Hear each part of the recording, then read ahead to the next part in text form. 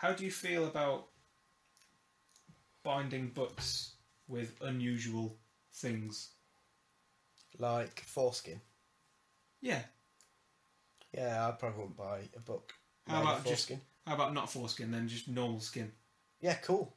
Because uh, Human or animal? human. Interesting. Because Arsène Houssaye, who is uh, this old dead French writer, he wasn't dead when he was a writer, he was alive, but Yeah. then he died afterwards. After he'd done all the writing. He um, gifted one of his books to his friend, uh, Dr. Ludovic Bouland, who then bound the book in uh, the skin of an unclaimed body of a female mental patient who had died of a stroke. How do you feel about Why? Here's a picture of the book. It looks a bit yellowish. Looks like it's been bound with some sort of yellow leather. But recently in Harvard, they've done all sorts of tests on it and found that the stories are true. It has actually been bound with human skin. Why? What? What did he gain from that? because the book was um, it was a meditation on the soul and life after death apparently that's how Houssaye himself described it and so Dr. Ludovic Bouland Ludovic Bouland sorry he thought that the uh, the book should be bound in skin because um, a book about the human soul deserves to have a human covering that's what you thought Meh. I think as long as nobody minds, like that was an unclaimed body, yeah? yeah Well, obviously nobody gave a shit about that person, yeah and she was mental. And this is, I think this is in the 1880s. So, Yeah, I don't see anything wrong with that. I mean, it's a bit weird now, but we're judging it by today's sort of standards of normality. well, apparently this has occurred since at least the 16th century. It's called anthropodermic bibliopagy. Bibliopagy? Bibliopagy? probably none of those. Probably, yeah, it's probably a different We've probably messed that up. Yeah, probably, I've probably ruined that. Um, and this is something that apparently has happened quite regularly in the past. Not necessarily quite regularly, but, you know, occasionally at least. It says here the confessions of criminals were occasionally bound in the skin of the convicted, for example. That's interesting. Poetic, isn't it? Poetic yeah. justice. Um, an individual, for example, in the past might have requested to be memor- memorialised for family or lovers in the form of a book, which is quite an attractive idea. Yeah, I quite like that. I think when I die, Yeah. I could go for that. This is Just- what I thought when I read it, but then I thought maybe I shouldn't on a podcast announce, right, when I die, because that might be later on, when I Yeah. die, bound a book. in Well, no, my I skin. wouldn't just like to ban any book.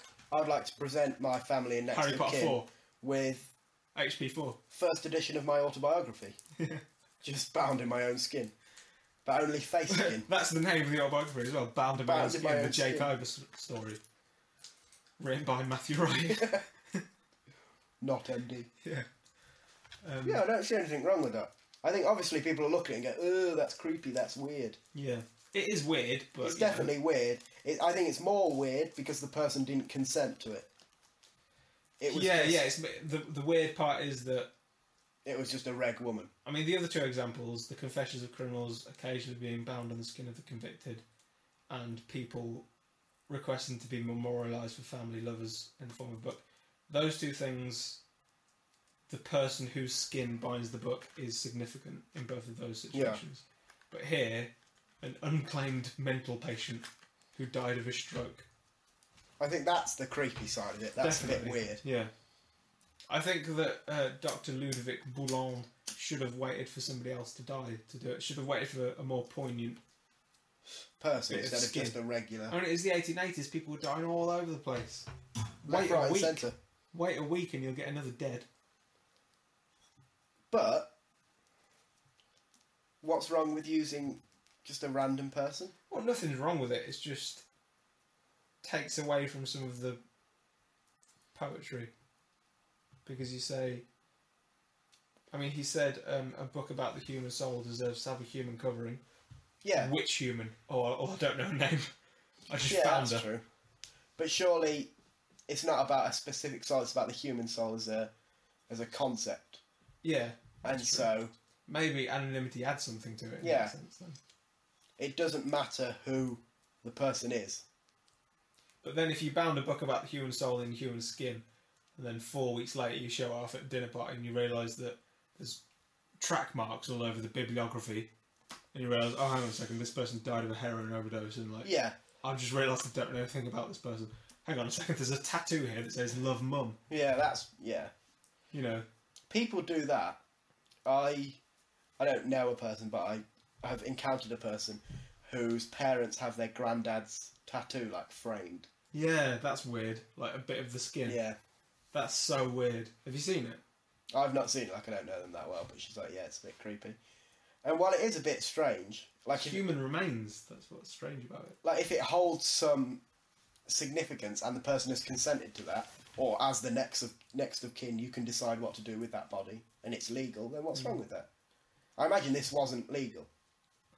Oh, it must have been. It was the 1880s. Fuck it. Who cares? Yeah, it's a long time ago.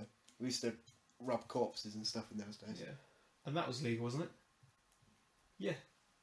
Yeah, maybe. I But think no, but yeah.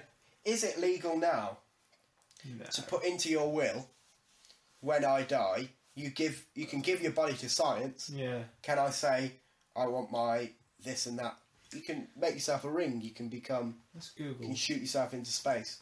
Can What I can say you- I want my skin to form a small little poof for my Small poof. for my kid to rest his feet on? Um, who has the right to make decisions about your funeral? I'm googling now. I'm trying to find out what you can legally do with your own remains. Oh, there's a lot of words here. That's I didn't expect that. Because as long as you're not a burden to the state, I don't think it matters. Yeah, they'd be thankful for it. Because you're it comes back to the whole private property argument is that if it's in your will you should be allowed to do anything and as long as your next of kin go yeah all right then whatever if they go i don't want his head stuffed and put on the front door But that's what he wanted, Mary.